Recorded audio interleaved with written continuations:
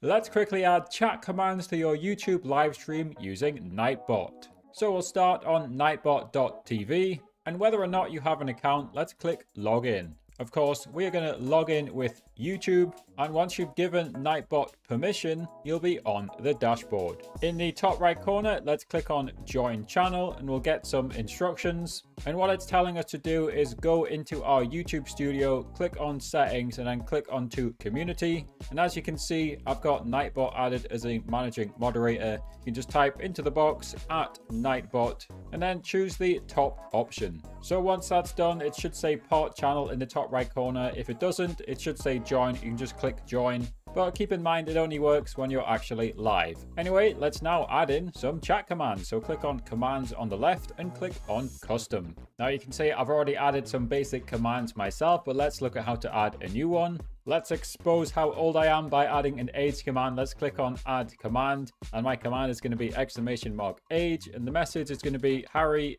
is 21 years old. No, I'm joking. Harry is 31 years old and you can leave all the others as default. So you could change the color if you want, but you can press submit. So now when any of my viewers type exclamation mark age, it's going to output this message. Again, you can't test it unless you're actually live, unfortunately. There is also some default commands enabled here. You can go through and have a look through them and check all the different options if you want to learn more about them. And you can also head to this timers page and click add if you want the bot to type a message every, in this example, 15 minutes. So again, in the example message here, it's saying subscribe to the YouTube. Yes, this is typically used for sharing links. And the other use for Nightbot spam protection, you can go through this and enable or disable any spam protection that you want. If you're looking to add overlays to your YouTube live stream, check this video.